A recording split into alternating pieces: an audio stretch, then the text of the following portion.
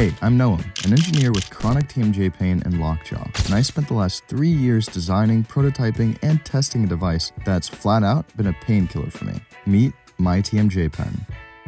Before I tell you what it does, though, I first want to tell you what it doesn't do. This is not the cure for TMJ disorder. In fact, some of you won't find any relief at all. I'm telling you this because you know the world of TMD is an ocean of scams, bias, and dishonesty.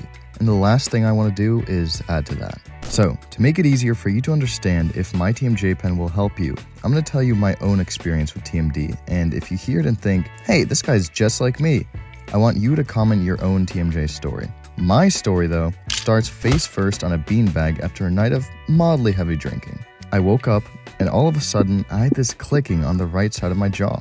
But honestly, other than just annoying my friends and family with the loud popping during dinner time, I didn't feel like it really warranted my attention.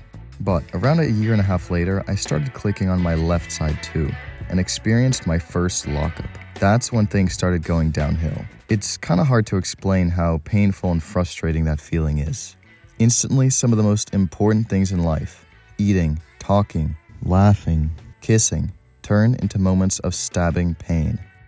As time went on, the lockups became more and more frequent, and with them brought on chronic pain all over my jaw and temples. So, after seeing some people, I learned that when I get these lockups and muscle pain, I should heat and massage the area to relax the spasming muscles. What I would do was heat up a mug of water and use the bottom ridge to massage the TMJ or whatever part hurt at the time. Worked great. Kind of.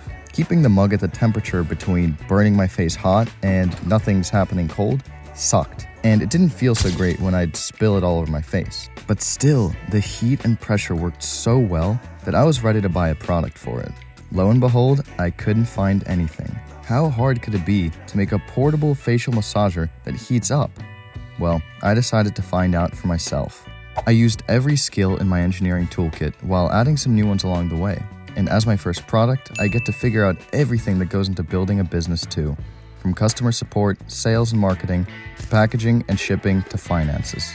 But I pushed through, and a part of me still can't believe I get to finally introduce my TMJ pen. Designed completely from scratch for TMJ myofascial releases. Once you turn it on, you have two buttons to switch through heat and vibration power. The aluminum tip is made to dig right into jaw muscle knots while dumping up to 120 degrees of heat into them. You'll get around 30 minutes of full power use, and feel free to bring this thing anywhere you go because it'll fit anywhere you go. But wait, there's more. I know that not everyone is a trained massage therapist, which is why you not only get the pen, but a whole suite of videos describing how and where to use it to get the best relief results you're looking for. My favorite thing to do is use it with aloe gel, since not only does it feel amazing, but moist heat is able to penetrate deeper into muscle tissue, meaning it actually works better too. So, if you or a friend have TMJ pain, then I urge you to give it a try. And if you don't like it, you can return it with a full refund, no hard feelings. See ya.